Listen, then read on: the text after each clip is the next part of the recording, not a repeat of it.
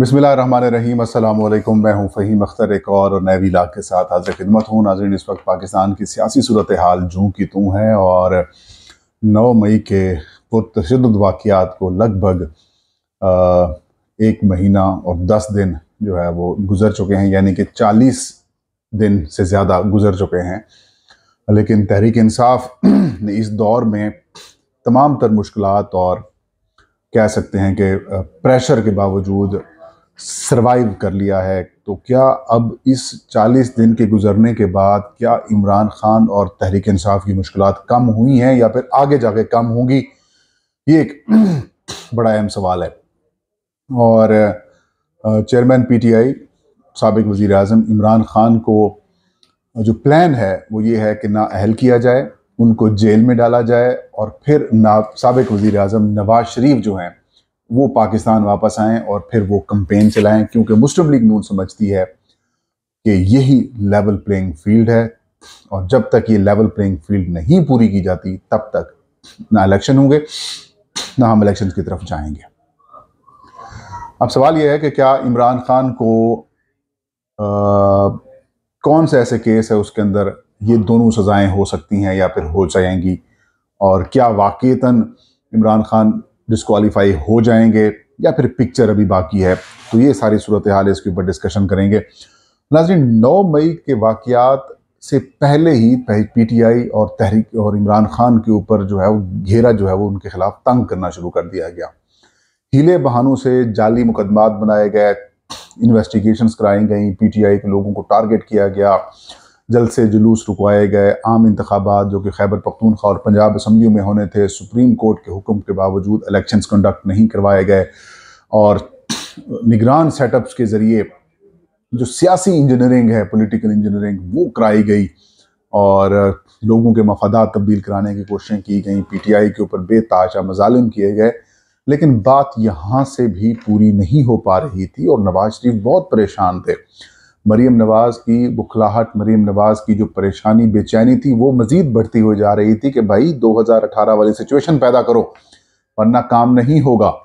और फिर 9 मई का एक वाक़ हो जाता है इमरान खान को इधर लाहौर इस्लामाबाद हाई कोर्ट से डायरी ब्रांच से गिरफ़्तार किया जाता है और उसके बाद पूरे पाकिस्तान के अंदर जो तहरीक इंसाफ के हामी हैं वो लोग सड़कों के ऊपर आ जाते हैं प्रोटेस्ट करते हैं और जो आ, जो फौजी इमलाक हैं, उनको नुकसान पहुँचाया जाता है, जो कि काबिल मजम्मत है। पुरमन एहतजाज हमारे आइन और कानून के अंदर हक है। अगर आपके साथ कोई ज्यादती हो रही है तो आप पुरमन एहतजाज कर सकते हैं।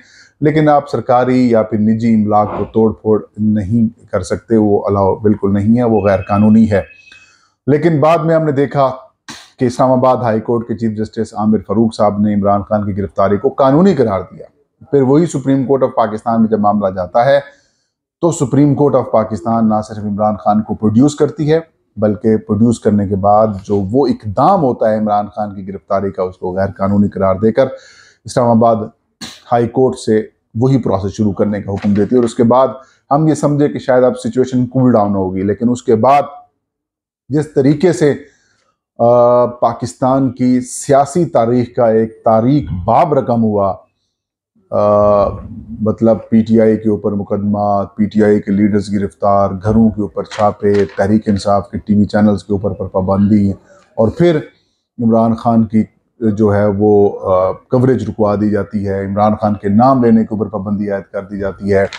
और तो और आ, जो लोग प्रेस कॉन्फ्रेंस करेंगे रिहाई के बाद आ, वो माफ़ है उनको माफ़ी है। जो प्रेस कॉन्फ्रेंस नहीं करेंगे वो रगड़े जाएँगे।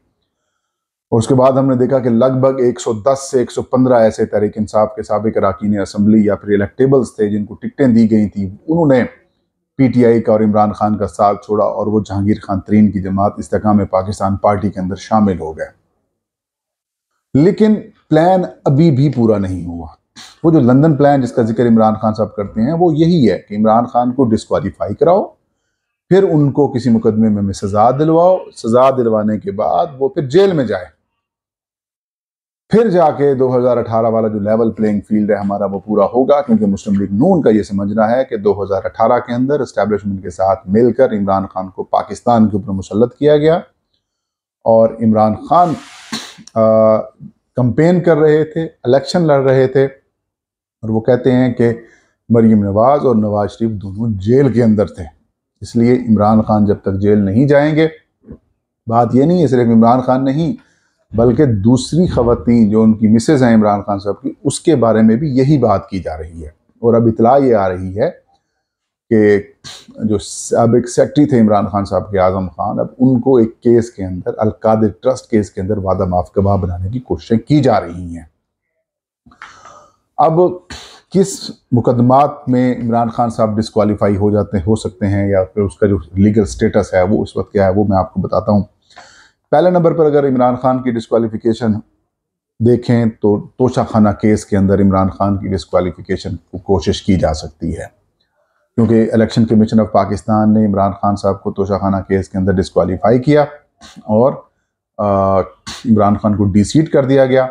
फिर वही केस इमरान खान के ख़िलाफ़ फर्दर जो कार्रवाई है क्रिमिनल प्रोसीडिंग्स जिसको कहते हैं फौजदारी कार्रवाई उसके तहत जो इस्लामाबाद की लोअर कोर्ट है उसके अंदर कार्रवाई चल रही है लेकिन इस केस के अंदर भी इमरान खान को अगर डिस्कवालीफाई करेंगे तो फिर जो तोशा खाना से अब तक जिन लोगों ने भी रकूम कम रकूम देकर चीज़ें खरीदी हैं वो भी फंसते हैं।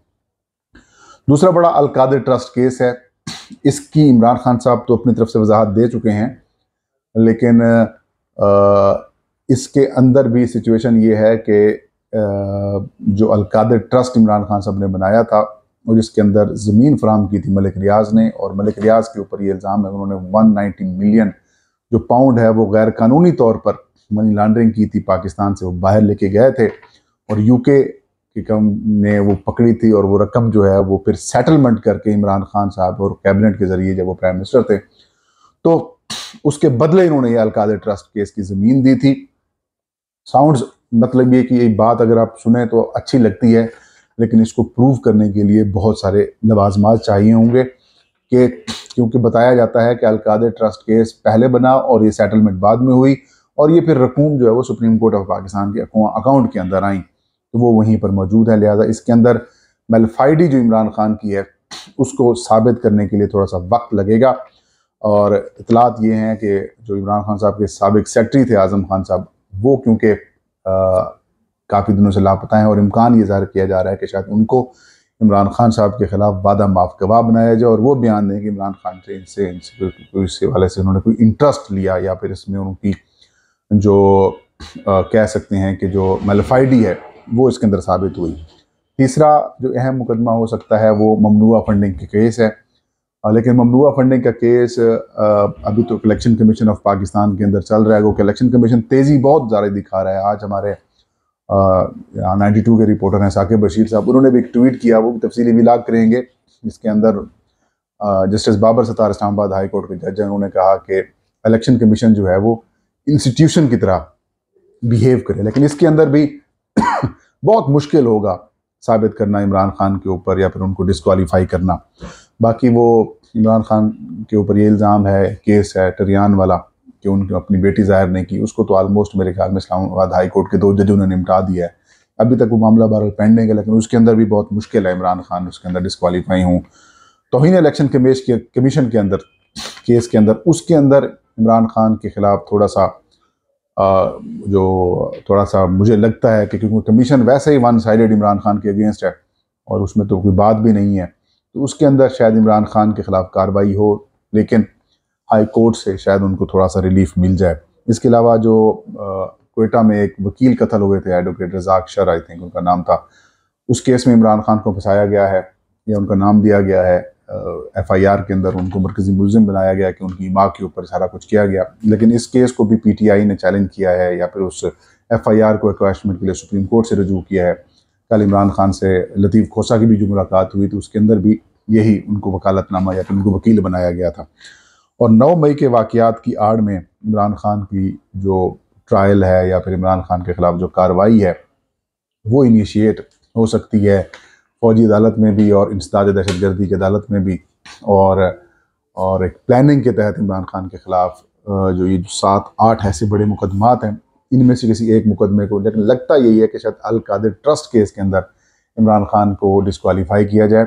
लेकिन आ, वो कहते हैं ना पिक्चर अभी बाकी है। अगर तो इलेक्शन सितंबर में होते हैं सितंबर में इलेक्शन होते हैं और यानी कि बर वक्त इलेक्शन होते हैं तो फिर अगर ये डिस्कवालीफाई भी करा लेते हैं जेल भी भिजवा देते हैं तो भी इमरान खान को सुप्रीम कोर्ट ऑफ़ पाकिस्तान से रेमेडी मिल सकती है, क्योंकि सितंबर के इलेक्शंस होते हैं तो उससे पहले जो नॉमिनेशन पेपर्स का प्रोसेस होना है, उस वक्त चीफ जस्टिस जो होंगे, वो जस्टिस उमरता बंदियाल होंगे।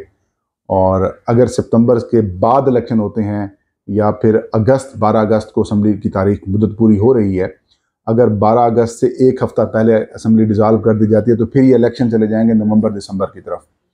और अगर नवंबर, दिसंबर तक चले जाते हैं तो फिर जस्टिस काजी फायद ऐसा होंगे और हुकूमत जो प्लान कर रही है शायद उसके मुताबिक ये काम कर लें यह था आज कभी लाल मुझे इजाज़त दीजिए।